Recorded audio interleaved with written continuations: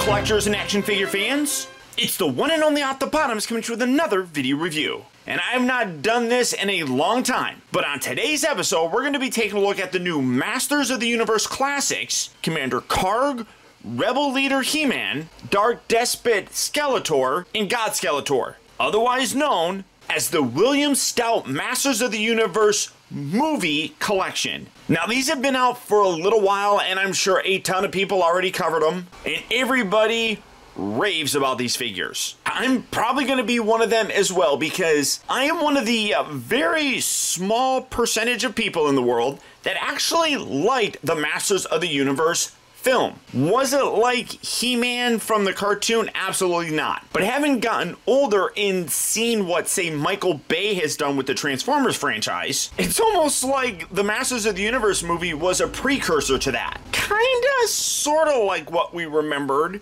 but changed enough just to annoy the shit out of a whole bunch of fans. And while, yeah, a lot of people have already reviewed these, one thing that they always say is that we never thought we would get these. And that's absolutely true with me. I, I remember reading somewhere that, like, the director or something like that absolutely despised Mattel and would never give them the rights to do these characters. I mean, you can correct me if I'm wrong with that, but once Super 7 took over, then all those concerns kind of flew out the window. But these figures, and because I haven't taken a look at the Super 7 ones the, since Super 7's been doing them, uh, is very much like those old Matty Collector ones. So you do have the mailer. Uh, it's not white anymore. They changed that with the Matty Collector ones too. Uh, they switched to this ground, uh, brown one. Uh, but, oh, there's no tissue paper! No tissue paper! That's very disappointing. No tissue paper. Here is Commander Karg, and as you can see, it is on that very familiar Classics blister card. You got the uh, the Castle Grayskull motif going around there instead of like Matty. It says Super 7 along the side, but pretty much everything else is the same. You got the uh, little air holes right there, which is cool to see. You got the little dimple. Now, Commander Karg is primarily just a repaint. I never picked up the original one, which was meant to look like the comic book, I think. Or I, I, don't really remember. But you come around the back of the package, you've got a brand new read up for them. I'm not going to read the whole thing. If you want to, you can do the usual and pause it right now and read it. But you got other figures that are uh, available, such as all the William Stout collection, and then, of course, some figures from their uh, Masters of the Universe Club Grayskull set such as Modulok, Roboto, Stratos, and then Katrina. And then gorgeous art here on the side of Commander Karg. Now, setting him off to the side, let's take a look next at the Rebel Leader He-Man. Let's get the mailer open and be disappointed that we don't get the tissue paper. There's no tissue paper. Makes me so sad. But again, same basic thing. But here we have the Rebel Leader He-Man based off of kind of sort of Dolph Lundgren, which, uh, if I remember correctly as well, uh, they didn't get the likeness rights for him, but it kind of sort of looks like him. But same basic kind of concept here with the uh, the blister card coming on the back. Here's his bio. You can go ahead and pause it if you want to read that. And then, of course, you got the same figures up here. And again, gorgeous art right here, including that really cool new looking power sword, which I know some people really did not like. Now, some of the stars of this movie really were kind of the bad guys in the film. Uh, a lot of people really didn't like the take on He-Man. Um, Man at Arms is pretty much the same. Teela was pretty much the same. Uh, they didn't like Gwildor. That was definitely something that I remember, although I really liked him. But another character that they loved was Skeletor. I can never say his last name right. It's like Frank Langella or something like that. But he actually really enjoyed doing the character of Skeletor.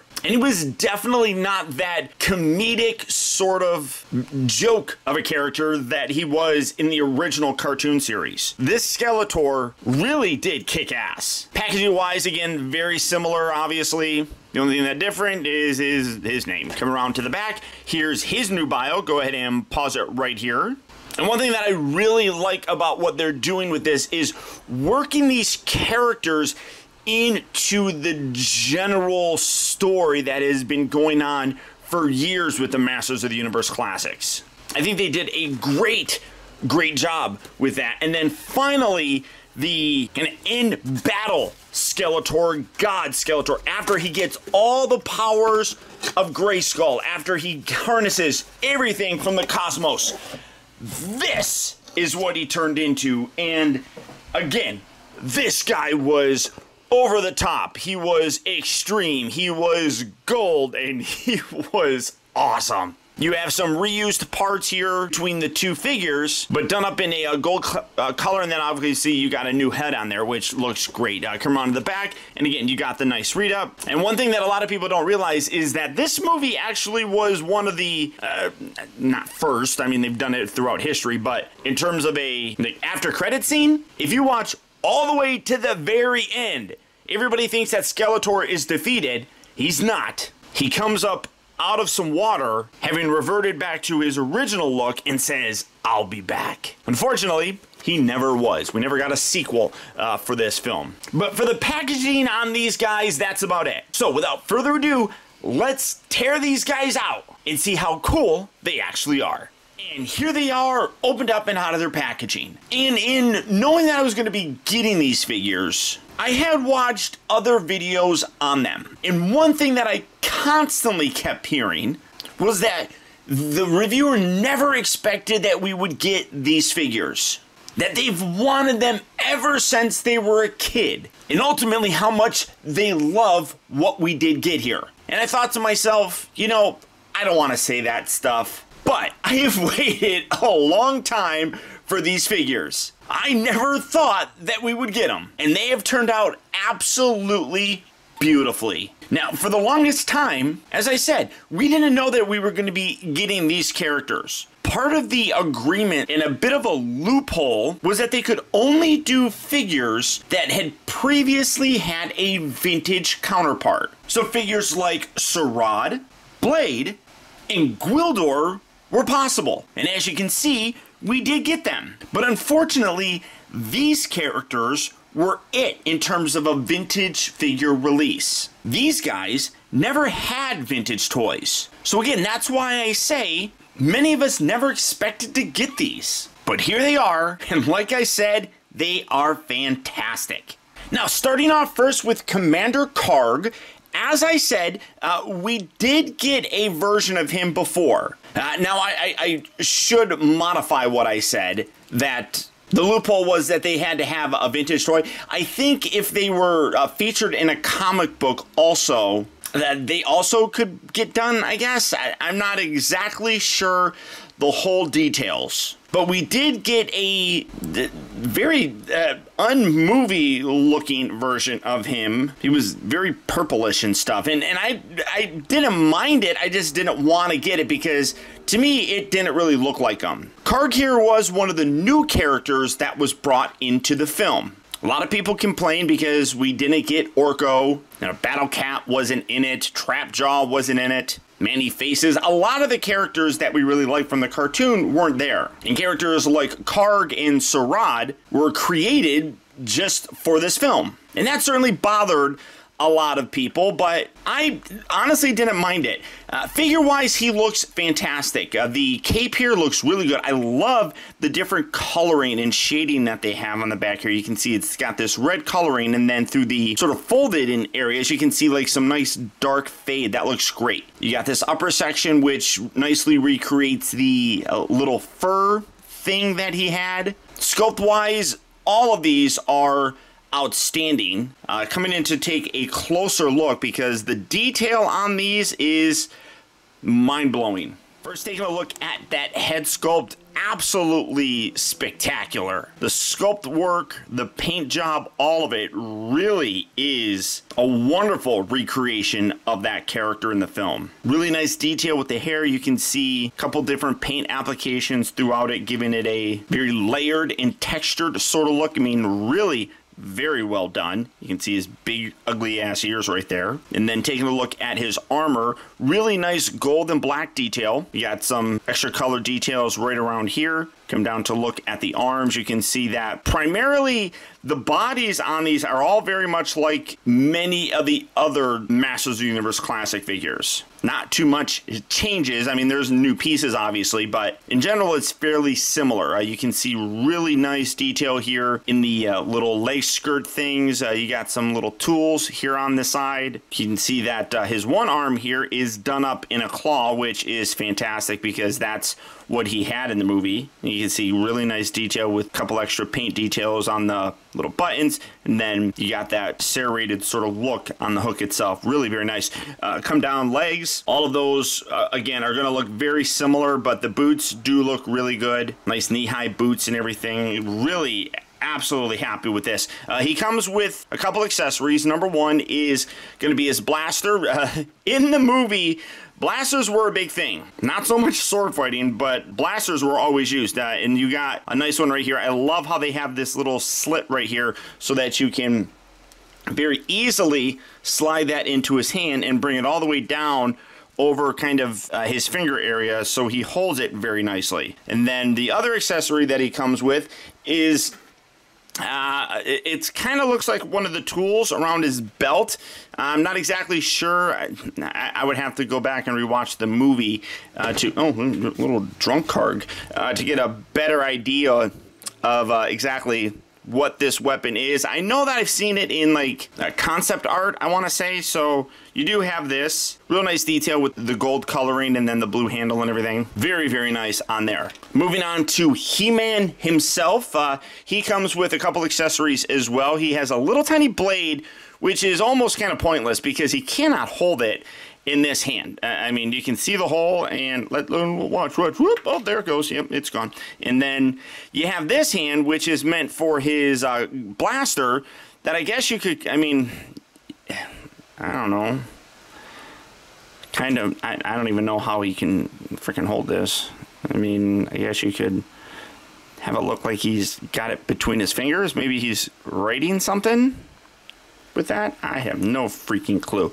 Uh, but he comes with a couple other accessories. He's got this blade, which is gorgeous. This one does an amazing job of looking like that uh, original power sword. That is a nice touch. I don't know if that's the way it was in the film, but that right there is a really nice homage that even if it's not like that in the film, the fact that they did it like this for the figure, great, great job. You got a little holster, right here, you slide that right down. Yeah.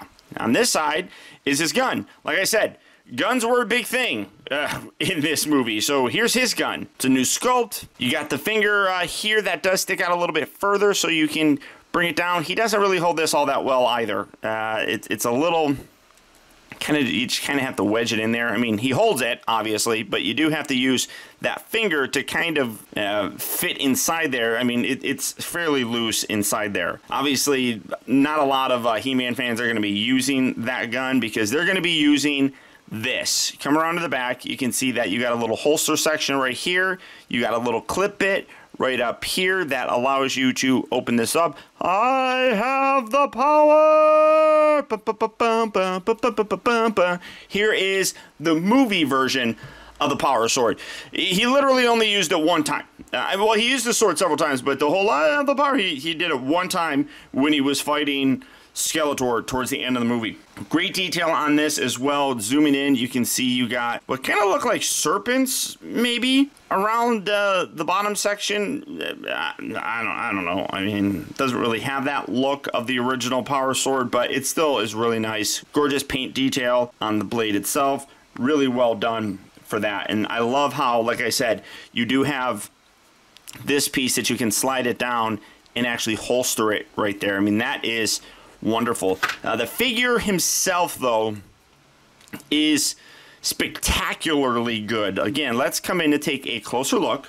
Now, again, uh, as I mentioned earlier, I don't believe they actually got Dolph Lundgren's likeness rights. So the sculpt, while similar looking to Dolph Lundgren, is a little bit different. Now, he actually does come with two heads. This is one. This is the other. Um, and neither of them really have that Dolph Lundgren look. I think this one does a little bit more. So this one, I, am not even going to bother using. You can see that he's got a much more kind of squared off uh, sort of look to it, a little bit wider of a chin. Ultimately, this is the best looking one, I think, but you know, you can use this for, uh, I don't know, something, whatever. But again, great paint detail. The, uh, the texturing and layering of the different hair strands really does give a great look. Of course, you got the very long 80s look, the little swoop thing right there.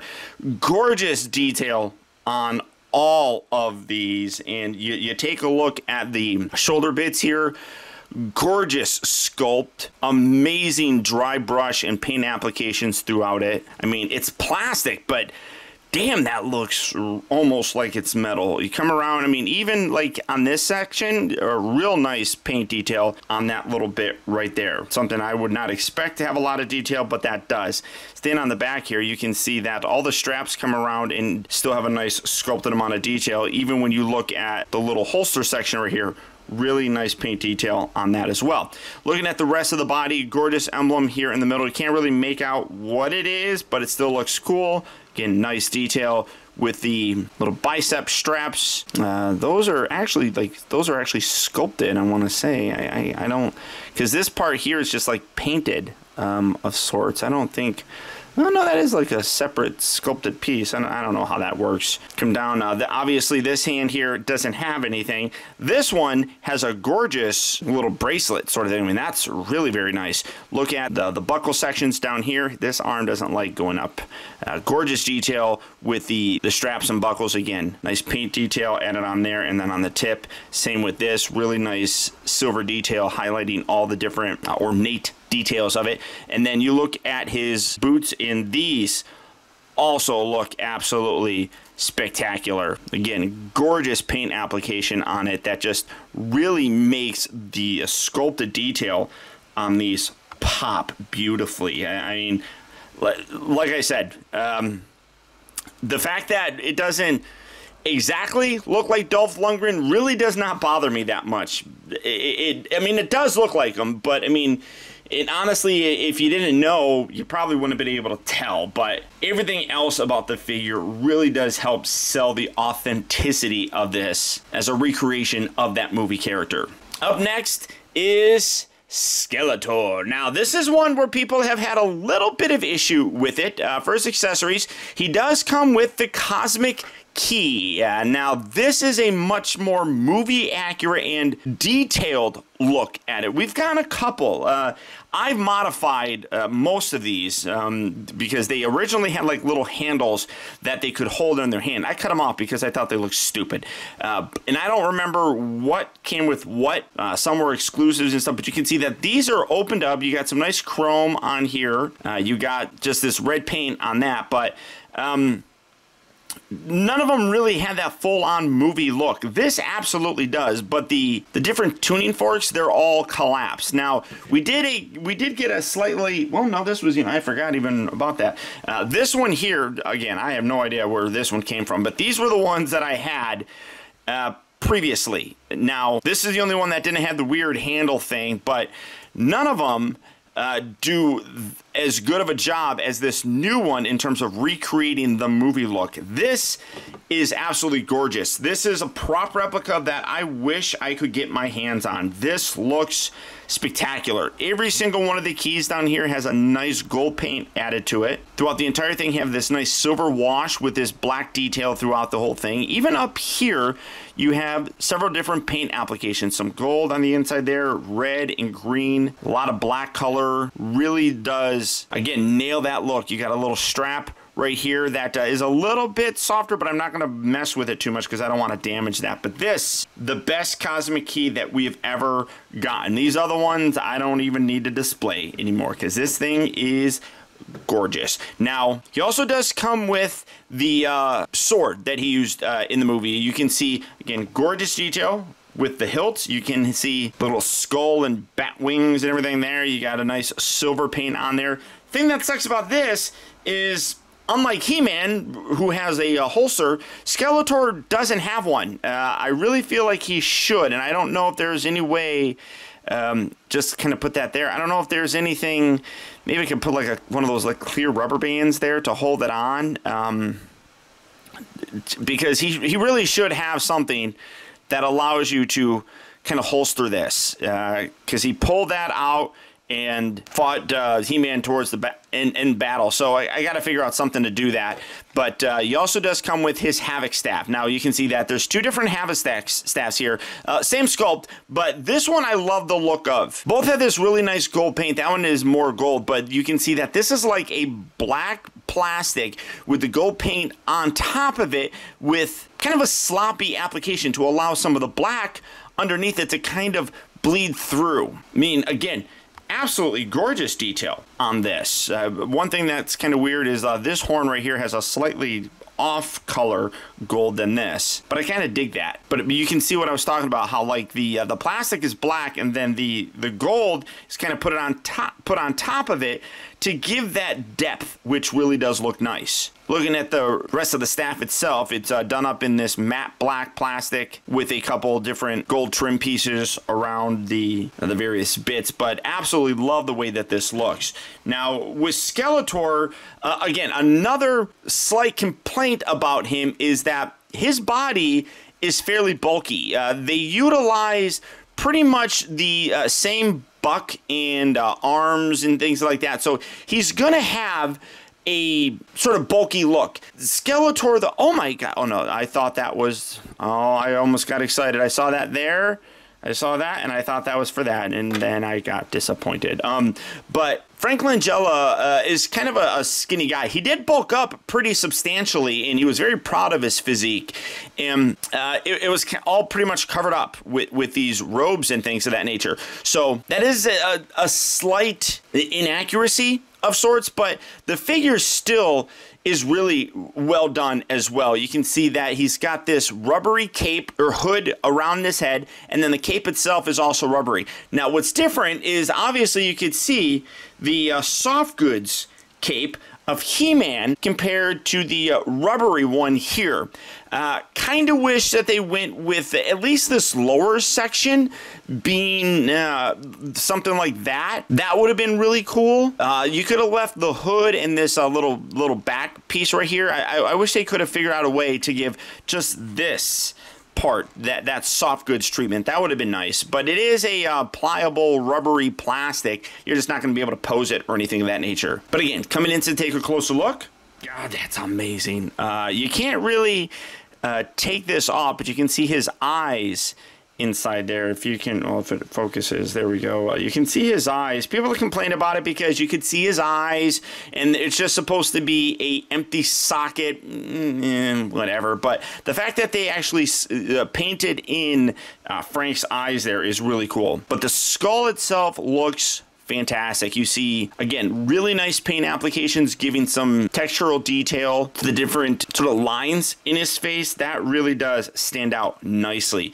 Uh, the armor, again, absolutely gorgeous. It's got a very subtle gold paint application, almost like a bronze on top of it. Some uh, red bits throughout there. Again, the buck is pretty much the same. I don't think you can remove the uh, the body. Uh, you would probably have to do it here on the side, but I don't think you can. I, I know the old He-Man figures you could remove that stuff, but um, I don't think you can with this. Gorgeous detail with the arms, very uh, Darth Vader looking. You got these straps coming down with great sculpted in detail throughout and then really nice added paint applications on it.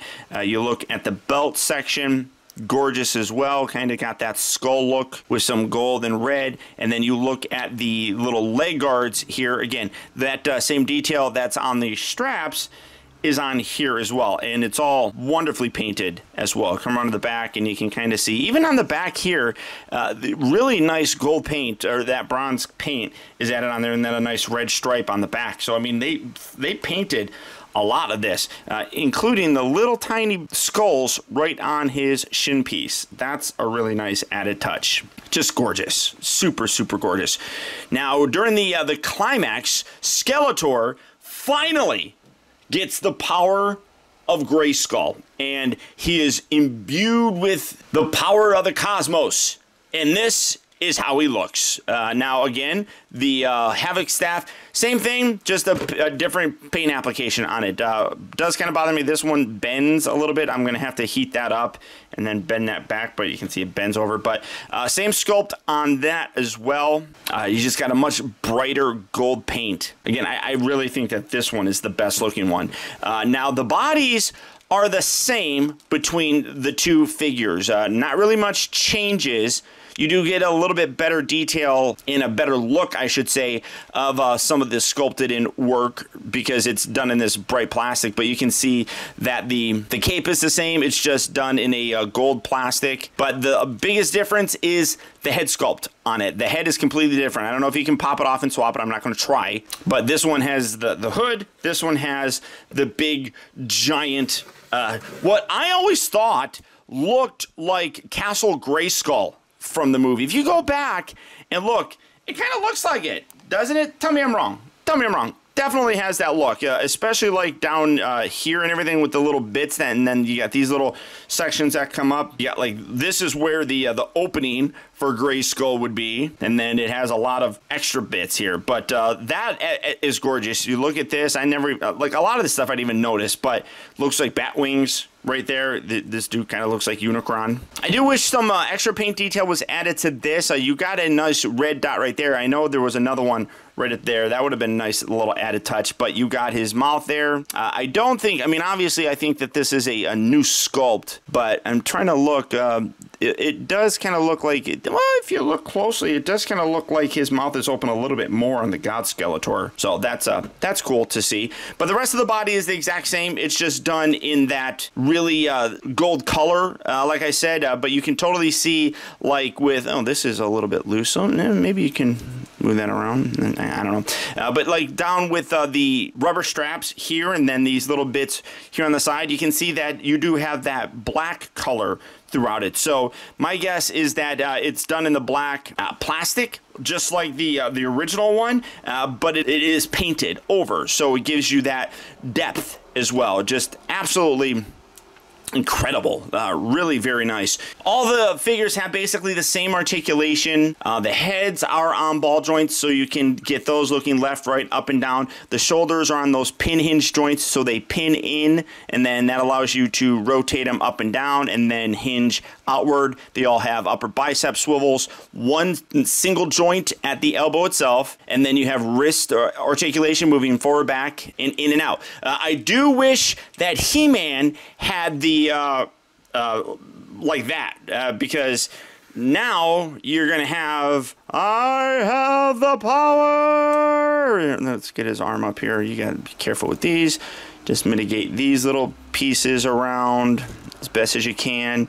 Uh, I mean, you can kind of get it, but I, I, I do wish that um, you could have them do more of an up and down pose with it and uh, being able to bend that wrist like that would really help for that. So that's one thing that kind of sucks. Uh, they all do have the oh oh my goodness, hold on, there we go.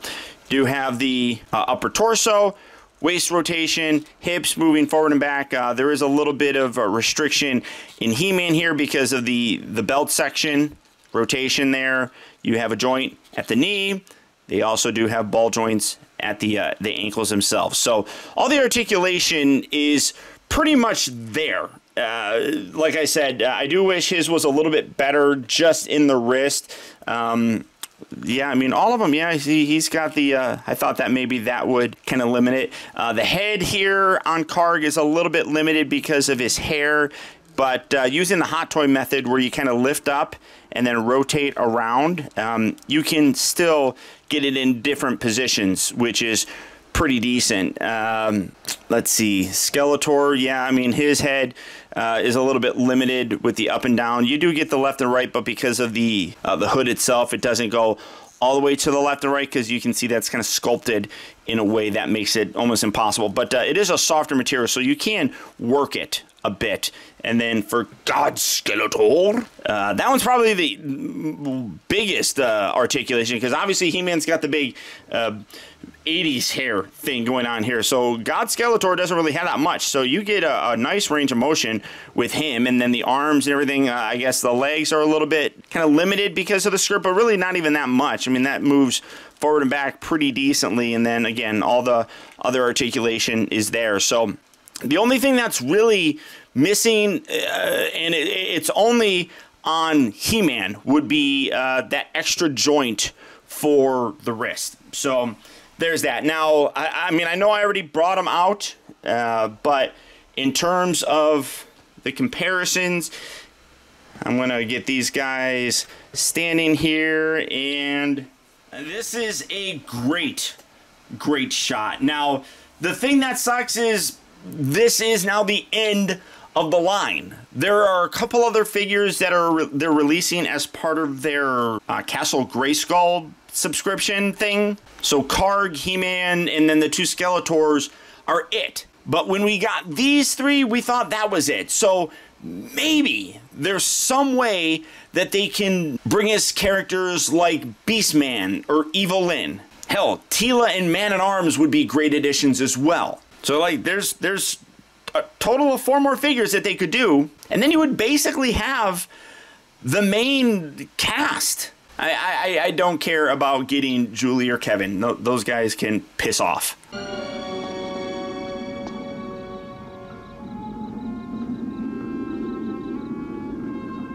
Mother? Yes, darling, it's me. Piss off, Ghost!